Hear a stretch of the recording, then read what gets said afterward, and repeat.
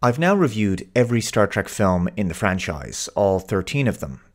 And it's interesting to specifically focus on the comparisons in quality between the original series films and the Next Generation films.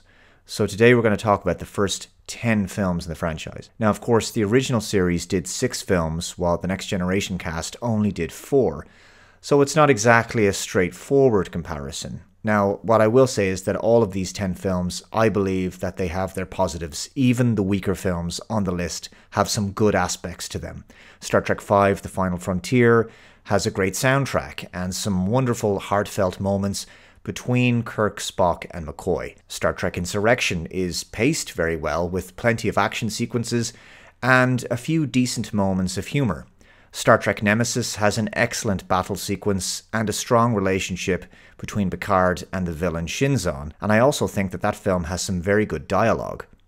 But generally speaking, those three films are considered among the weaker ones. Star Trek Generations is another one that really divides people. Uh, I quite like the film actually. Strong direction, cinematography, musical score, and probably the best opening 10 minutes of any Trek film. Also, the crash landing sequence of the Enterprise D saucer section is just spectacular. Although the meeting of Picard and Kirk was disappointing, given that it ultimately concluded with Kirk's totally unnecessary and lackluster death. With the exception of Star Trek First Contact, I've been wondering why it was that the TNG films lacked the impact of the original series movies. I've heard it said before that the original series cast were more suited to the big screen than the Next Generation cast, and that may have been true.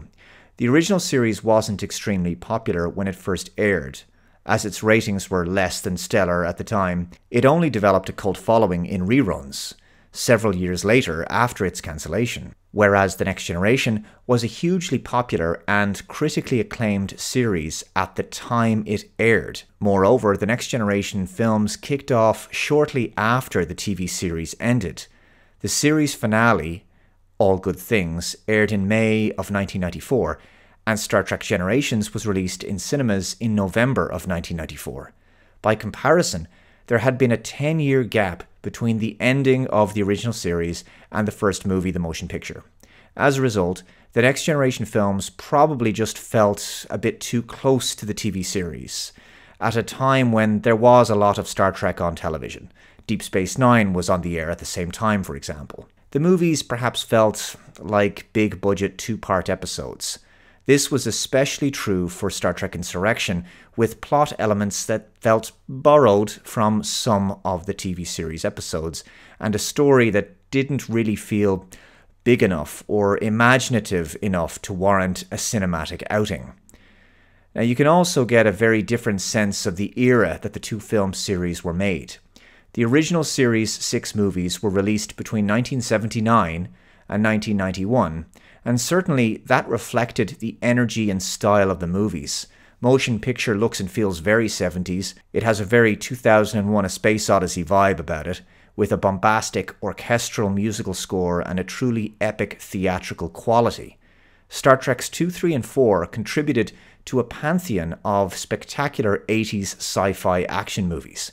Star Trek 6 was a solid end to the original series cast on the big screen with The Undiscovered Country, allowing the torch to be passed three years later to Picard and co. in 1994's Star Trek Generations. I think this also brings up another, perhaps more controversial point.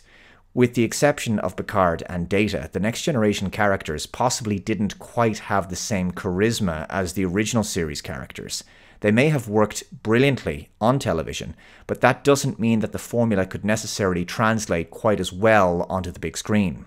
I think it says quite a lot that of the four TNG films, three of them, Generations, Insurrection, and Nemesis, generally speaking, occupy the latter half of many people's lists when they rank all 13 of the Star Trek films in terms of quality. It's not uncommon for Nemesis or Star Trek V to be at the bottom of the list, and oftentimes Insurrection and Generations are just above that. But most of the original series films are therefore higher up in the rankings. I think it's worth mentioning that the original series only did three seasons, where The Next Generation had done seven. The original series was always on the cusp of cancellation when it first aired, and the writing and production team changed during the third season and resulted in its weakest year creatively. The show was never really allowed to become the kind of well oiled machine that the next generation became. By comparison, TNG fully established itself in its third season and continued with consistent quality for the next four years. The showrunners were given the time and indeed budget to enable the show to reach its full potential, but the original series never received the same level of attention and support from the studio. Instead, each year the budget got cut, and in its final season, it was put on the Friday night death slot. TNG's formula, writing and characterization, was therefore more suited to television than film because that's where it was established over seven years. I think that Next Generation needed new creative energy when it came to moving to the big screen, rather than sticking mainly with writers from the TV series, though I think Brannon Braga and Ronald D. Moore did very well with First Contact, especially. But I think with the original series films, it took a couple of films for the writers and producers to find their feet and discover just how to make Star Trek films. So they were really breaking ground in that respect. But with TNG, because the TV series had been so successful for seven years, I think there was possibly a complacency, an expectation that they just kind of had to show up and produce what were ostensibly TNG episodes with bigger budgets. But there was something lost in the transition from TV to film. TNG worked best on television in a standalone format because they were able to give equal screen time to its ensemble cast over the course of a 26 episode season, but that's not quite so easy to do with a two hour film, obviously.